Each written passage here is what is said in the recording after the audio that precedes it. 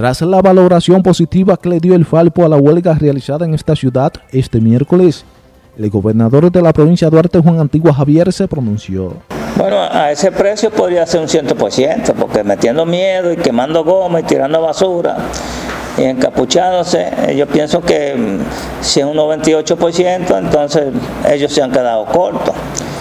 Eh, nosotros hemos dicho en repetidas ocasiones que, es una manera de, es una necedad ese tipo de, de, actividades de huelga, porque nosotros eh, necesitamos cosas que, ayuden al crecimiento de Macorís. La huelga no nos ayuda en nada.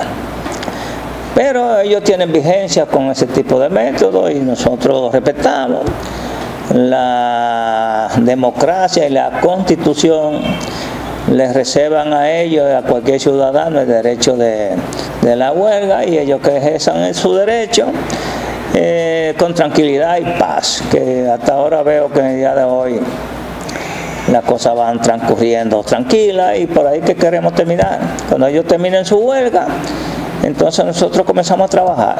NTN, su noticiero regional. Robinson Polanco.